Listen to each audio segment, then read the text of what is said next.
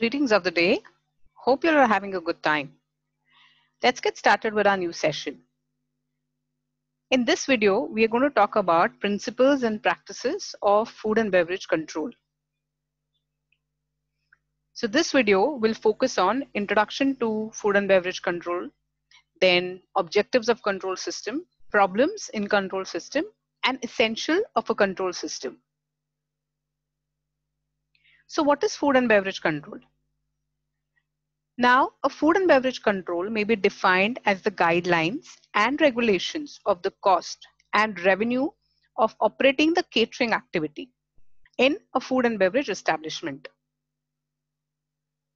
So, a control system covering the sale of all food and beverages is vital to accomplish maximum return. Now, in large establishments, you will see a department known as food and beverage controls who will make sure to have a smooth control system in various outlets. And in smaller establishments, an assistant manager of a particular outlet will do the same job. So we might not see a entire department working in smaller establishments. A very important note, a control system should be simple to use for entire food and beverage team. What are the objectives of food and beverage control? The first one is analysis of income and expenditure. Second, prevention of waste. Establishment and maintenance of standards. Pricing, prevention of fraud, and management information. Now let's understand this in detail. The first objective is analysis of income and expenditure. Here, the analysis is only concerned with income and expenditure, which is obviously related to the F&B operations.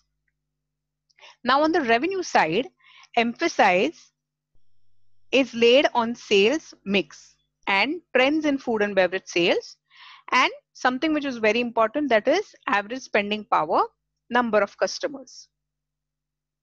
And on the other side, which is the cost side, Importance is on food and beverage portion cost, departmental food and beverage cost, and labor cost. The second objective is establishment and maintenance of standards. Food and beverage control helps the establishment to set the standards which could be used for a particular operation. Those are called as standard operational procedures in short SOPs now these are the manuals which are available to all staff for reference. So the minute you join a particular team of a, a restaurant you will be given a bunch of SOPs that you're expected to read and understand. A regular checking on standards will help establish a proper control. Next objective is pricing. Here an important objective of food and beverage control is indeed pricing. Now, this is to provide a complete base for menu pricing, including quotations for special functions and banquets. Now, accurate food and beverage cost and other main establishment cost, as well as general market considerations like average spending power of the customer, the prices charged by the competitors, and the prices that the market will accept are considered when you're doing a pricing for your particular menu. So pricing cannot be done just because you have few things in mind or your operation demands something. There are internal and external factors which will have an impact when you are deciding menu pricing. Prevention of waste. Here, the main purpose of control in general is also to ensure that current results are in accordance with the set standards. These are your SOPs and indeed the objectives of the business such as food sales or beverage sales that you want to achieve or the kind of gross profit margin you have kept. This can be done only by preventing the wastage of material caused by various reasons like poor preparation or over preparation or failure to use standard recipes. So the minute you have control on uh, the kind of recipes you're using or the kind of yield that you are generating, your prevention of waste will automatically happen. Management information. a system of food and beverage control has an important function in the provision of data for periodical reports on current operations. Now, accurate up-to-date information will make sure a complete analysis of performance for each outlet of an establishment for comparison with set standards which are laid down. So what is happening here is you have SOPs in place already. Now, when you're doing control simultaneously, these various factors are going to help you to generate reports which will understand where you stand when it comes to comparing the standards that you have laid and the actual operation that is happening. Now all this information is going to be get collected, collated and then further analyze it and then presented annually or with the use of software or manually you can present it. Now, what are the problems in food and beverage control system? We're going to talk about six main problems here. The first is unpredictability of the volume of business, perishability of the product, departmentalization, unpredictability of the menu mix, and the short cycle of catering operations. Now, when we're saying perishability of the product, here what happens is food let it be raw or cooked, is a perishable commodity and it has a limited life. Hence, it is required to be procured in correct quantity and quality. Then needs to be properly stored and processed. Beverage or beverages are normally not as perish perishable as food and it contributes to the easier control. Now, unpredictability of volume of business. Here, sales unpredictability and instability causes problem regards to the quantities of commodities to be purchased or prepared because maybe on weekends you will have a lesser number of customers walking into your restaurants and you will have more customers coming in on weekends. This could absolutely change because you don't have controls on the kind of market change that is happening. Unpredictability of menu mix. It is necessary to offer a wide choice of menu items.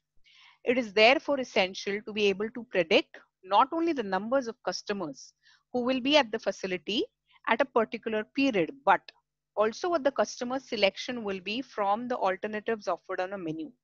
So it is important for you as a restaurant owner to make sure that you have good number of choices on the menu card. Now, when you do that, it is also important for you to predict to an extent. It is not possibly, uh, you know, for you to do it 100%, but you can definitely try and predict it looking at your previous data. Uh, in, in terms of number of customers you will expect in the outlet. Let's say on weekdays or weekends or for lunch or for dinner or for breakfast in order to control cost effectively, it is necessary to have some method of volume forecasting as a part of your total food and beverage control system. Now, short cycle of catering operations. Here, what happens is the speed at which catering operations take place allow little time for many control tasks. Because when you are in a busy restaurant, everything is happening really fast. Items ordered one day are often received or processed and sold the other day or the next day. So the further problem because of perishability of most products. So maybe you are ordering for something today and it is going to be received after two days. Further to that, you're going to process that and store it or sell it. Now, when this entire process is happening, you have to keep in mind the perishability of that particular product. So the storage has to be done properly. Departmentalization. Now, many catering establishments have several products and service departments offering different products and operating under different policies. Now, it is hence necessary to be able to produce separate trading results for each selling activity. Now, what happens is your coffee shop is going to work in a different way than your fine dining restaurant. They both will have their own styles of service, their different menu, or they will have their different policies.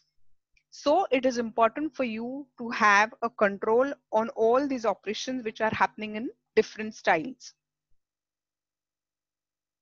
Use of technology in F&B control system. Now this is extremely important in today's time when we're moving towards uh, having everything on uh, the digital platform and manual uh, documentation or manual KOT system or BOT system or uh, let's say um, uh, order giving is absolutely less. Now with an advancement of point of sale technology, food and beverage control has become easier. Various companies offer different softwares which offer solutions to any food and beverage outlet.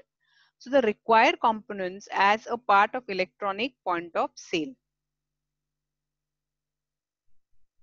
Now remember, while investing in any software, we are making sure that the system is comprehensive, cost of maintaining the same is calculated, and it is easy to operate.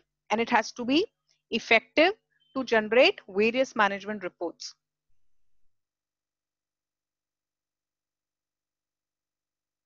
Why do we go for software?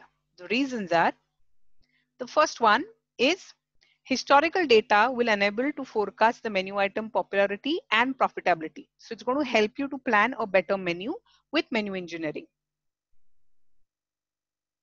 Menus can be used to decide precise sales and production quantities to have good control on kitchen production and use of raw material.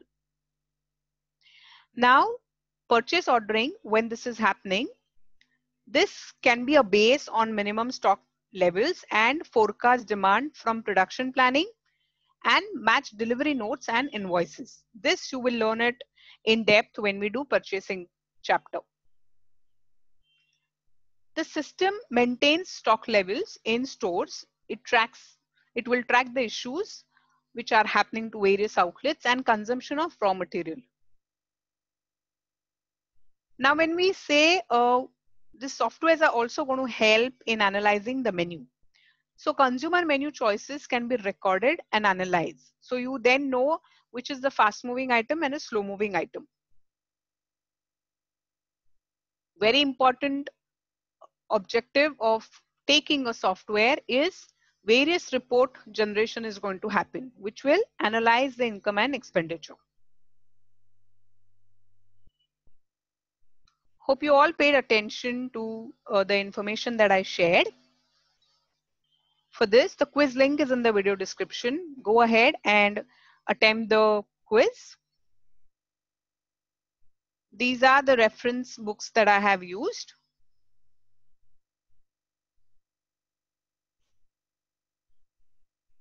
On that note, thank you and see you soon. In the meantime, you all take care of your health.